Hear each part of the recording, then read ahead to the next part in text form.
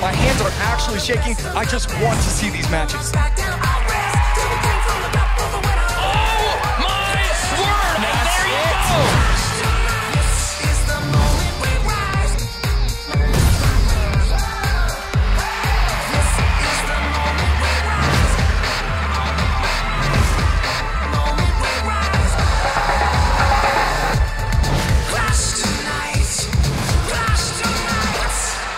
This is your moment to claim that crown and see who is king.